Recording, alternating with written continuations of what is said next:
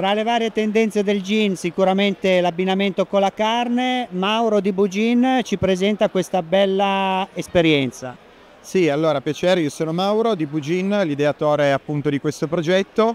Bugin nasce in Piemonte, nella nostra macelleria con cucina, dove abbiamo pensato di creare un gin per gli abbinamenti con la carne, che si andasse ad abbinare bene a 360 gradi tra le botaniche del nostro gin e eh, gli ingredienti per la cottura o per la manenatura e gli abbinamenti con la carne. Da lì è nato poi appunto il gin, eh, i salumi al gin, quindi andiamo a massaggiare i salumi con il nostro gin e ci siamo poi spostati verso il mondo barbecue, quindi cotture, dove abbiamo ideato i primi e unici cocktail rub, dove andiamo, i rub appunto sono un mix di sale, erbe e spezie, dove eh, andiamo a riprendere le note aromatiche dei cocktail ne abbiamo sei, dal gin tonic allo spritz al Negroni, al cocktail Martini, gin mule e abbiamo anche il mojito.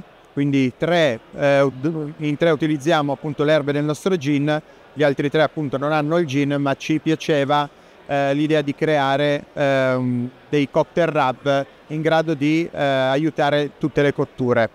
Eh, il nome Bugin da dove arriva? Allora, il nome Bugin deriva appunto dal Piemonte, che Bucin vuol dire eh, vitello in piemontese, dialetto piemontese, e ci piaceva la connessione del Bucin con Bugin per creare un gin in abbinamento alle carni. Che riscontro avete avuto qui al Gin Day? Allora, qui abbiamo avuto un bel riscontro, eh, persone molto interessate, piace molto il progetto, l'idea di abbinare un gin al cibo e di creare prodotti correlati a quello che è il gin in abbinamento al cibo per semplificare questo, questo food pairing con il gin e il cibo. Anche all'estero avete mire di espansione?